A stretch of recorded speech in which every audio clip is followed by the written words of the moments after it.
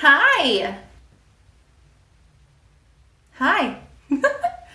okay, so dang it, I was gonna check to see what my video was about last time. I think I know. It was my follow-up follicle scan. Anyways, hi, McKenzi here. I make TTC videos here on YouTube, and as I always say, I plan to do more vlogging style, but we have had a lot going on lately. so, um, I'm in my new bathroom. Yes, I am. It's not done yet. Um, we just recently moved and did a lot of like renovations, but easy stuff like painting, light fixtures, trim, that kind of thing. So we've got a lot of it done, which is good because we were we're having a like Christmas friendsmas thing on Sunday. Today is Thursday.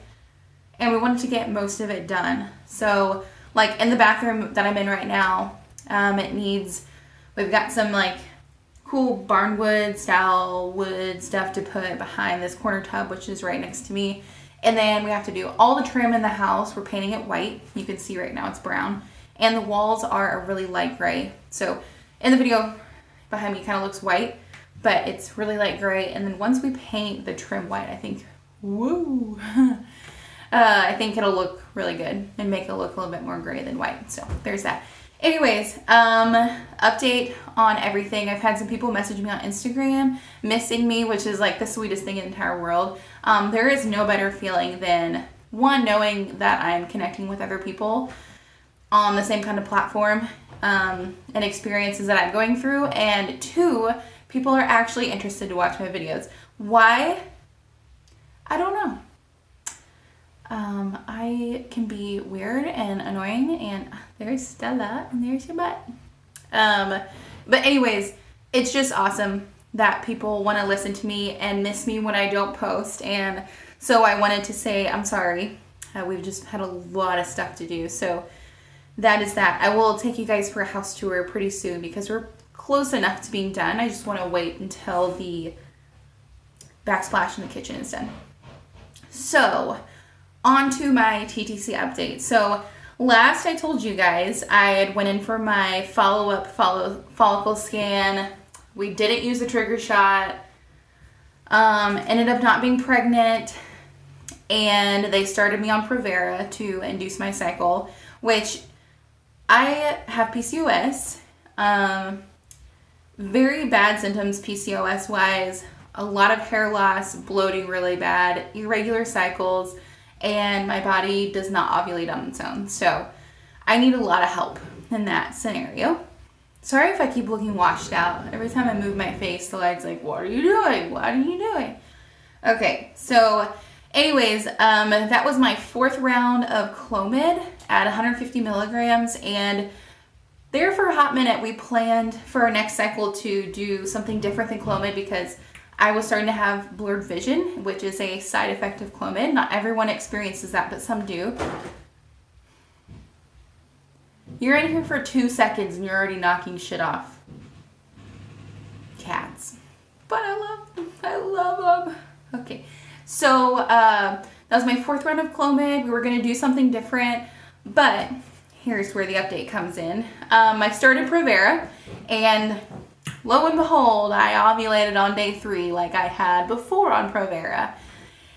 And there is no connection between a false ovulation and being on Provera. It cannot cause false positives. So um, that happened. So we extended my Provera for 14 more days so that way I could find out if I'm pregnant or not. And then if I was, we would come up with a plan to like wean me off of Provera because it's a synthetic progesterone and it's not recommended for women who are pregnant.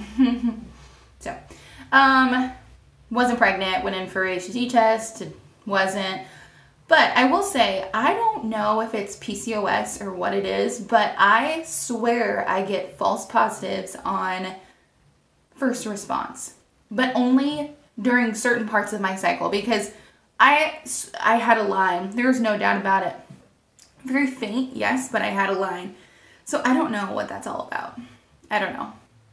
Anyways, um, does pregnancy test pick up progesterone? Because if I was on day like freaking 15 of Provera, which is progesterone, would that cause a false positive? I didn't think so, but if you know, let me let me know down below. Um, so wasn't pregnant, started or took, or, sorry, came off my Provera, started my period almost immediately. Um, I will say my the first couple days of periods following progesterone, she is so cute. Uh, she's like looking at herself in the mirror. Um, what was I saying? focus, McKenzi. Cats are very distracting. Um, okay, just give me a second. Okay, my first couple days on my new cycle after taking Provera are hell. So, major bleeding, like going through tampons and pads like it's my day job, and at night, the worst cramps in the entire world. So, I had to use a heating pad this cycle. That sucked. Then the next couple days weren't too bad, but pretty heavy period, cool, no big deal. Went in on cycle day five for my base follicle scan, which they are requiring me to do now before they give me medication because they want to make sure that one, my body is ready for medication, and then the follow up follicle scan is to make sure that my body is responding to the medication. So, go into my follicle scan, super expecting to be put on medication starting that day and then using my trigger shot. This was beginning of December. So went in and my uterus lining was at a 9. Day 5. Like bleeding. Or just got done bleeding. That was the fr- that was in the morning. It was the first day that I wasn't bleeding when I woke up. Um, gosh, I'm sorry. That is probably so annoying. Okay. So Uterus line was at a nine, which is thick to begin with for your average person. And I had a daughter cyst again, but this time in my left ovary, not my right. So she was like, What day are you again? Day five. And you had a period? Yes. Was it heavy? Yes. Major clotting. So, yes, uh, any normal person would be like, Oh, there's my uterus lining and the toilet paper. It's the size of my palm. Like, it's, I'm probably okay. So we discussed it a little bit. She's like, I've never really seen this before um, for someone who's had a heavy period and for your uterus lining to be that thick. Um, so she was like, We're going to take a month off, start the new year with a bang. So let your body restart this month, December. Let it do its thing. If you don't start your period on day cycle day 28, which is coming up, my cycle days lined up with the days of the month, which made it really easy. So that's in two days. No sign of my period. So she's like, when you get to cycle day 28, if you haven't had a period, then let me know. We'll do five days of Provera instead of 10 days of Provera, and then we will start all over again. So she was like, what sucks is your body was really responding to Clomid, the higher dosage of Clomid. So we could go to two different ways. You could decide to take 200 milligrams of Clomid next cycle, or we could switch you to another medication and not really know if it works yet. And I'm like, already got the blurred vision, whatever. If it gets worse, whatever. Put me on 200 milligrams of Clomid. We're getting this thing done in January. So that is the plan. That's what I've been doing. Um, cycle day 26 today, so it's been a couple weeks. Um, I haven't taken ovulation tests. I haven't used my OvuSense. I haven't done anything. And it feels good. To be honest with you, it feels good. Now, I do have the distraction of the new house, so that's been perfect timing. Um, I was kind of hoping I was pregnant this month because one, I make great Christmas gifts, and two, like to move into our new first owned home and for me to be pregnant, that would be the best thing ever. But um, it's been a, a good month. Been super happy, feeling really good. The break has been like relieving because I haven't worried about testing or holding my pee or anything like that. And it's just been refreshing. And I think Jerry and I both needed it. And it was good timing to do it now too. So you are going on a year or plus, a month plus, it doesn't matter and you're stressed out about trying to have a baby and you're in a spot where you feel comfortable taking a break, please do it because it is so worth it. I mean, I'm not I'm not a person who would ever take break a break for multiple months because I know it's already hard enough for me to get pregnant as it is. I don't want to push off my chance even longer, but every now and then it's worth it. So, I recommend that to anyone. Mentally, physically, everything, it's been really worth it and I've really enjoyed it. So, it makes me more excited for this next cycle too because I know I've given my body a chance to like do whatever it needs to do. So, that is where I'm at. And so, I guess in two days, I, which is two days, uh, Sunday, they're closed. So, um, I will probably get Provera on Monday, start that for five days. She said five days should be good enough for me to clear out whatever's left. Um, so crossing my fingers for that because I think I'd be pretty devastated if I took it and then went in for my baseline follicle scan and I still hadn't shed my lining. That would just be more annoying than anything else. It's like, okay, come on now. So that's what's up. So next cycle, 200 milligram, milligrams, milligrams, Provera, five days, 200 milligrams of Clomid, cycle day three through seven, and we're using our trigger shot this month, next month, next cycle. Really excited for that, which is that weird? I'm excited to like take a shot. Maybe it's not the shot itself, it's just the idea that it's something completely different and it could work and I could have twins. That's pretty exciting.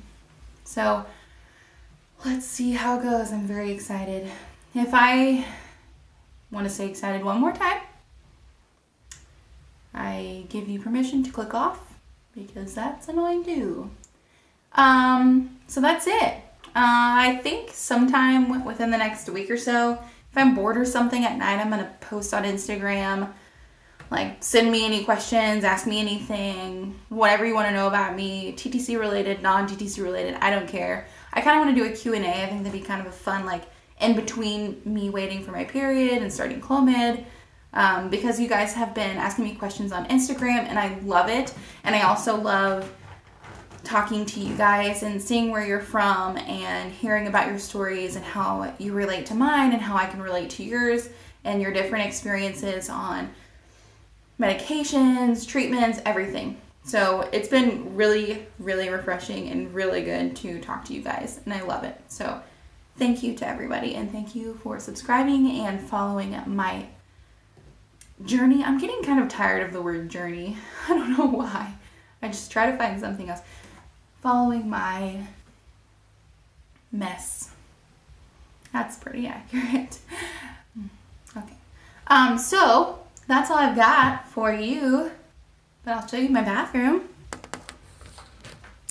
And I know, McKenzi, you got a new camera and you still haven't used it yet. Moving stuff, blah, whatever. So, we will walk in. Here is, oh, just look at that. So, door. This will be painted white. Um, then to your right is the countertops. Also ignore the blue um, I am going to be tackling a DIY epoxy marble countertop. So we will see how that goes. But it looks pretty cute. Um, this rug I got from Home Goods. That is my store. For $29. And it fits perfectly right there. Painted the cabinets all light gray. This will be like a sparkly white with charcoal marbling and just got some other little stuff. Um, these had the old style, like vanity mirrors. They open up, you put stuff in them, which those are great. That's what we had at the old house, but I was over it. So I got new light fixtures and I also got two like barnwood style mirrors from Home Goods. Obsessed with that place. When I do my home tour, literally everything you can just assume is from Home Goods. So, anyways, that is that. Then you come into this corner, and um, there were two like 50s mirrors that had like leaves and stuff. I just was not about it. So we took those down, and it just tore down the wallpaper. Um, so we bought from Lowe's these big wood, these, they're just one solid sheet and it looks like old barn wood. It looks like the mirrors almost, like that style wood or whatever. So that'll be lining the bathtub on like both corners. Right here. And then in this corner is the toilet, obviously. I made that sign. It says get naked. Clock. Little itty bitty shower. And I'm talking little. Like, there's no way I could shave my legs in that shower. At some point, we're to make it much bigger. And look how cute these hooks are. I got them from Amazon and I'm obsessed with them. So that is my master bathroom tour. Kind of not done yet. Looking kind of weird. Whatever. That is it. Look at me making another 16 minute long video. okay. Um, subscribe to my channel. Like this if this hit any kind of anything for you. Um, and tap on the bell if you want to get notified next time I make a video. Because why would you want to miss out, you know? Wow.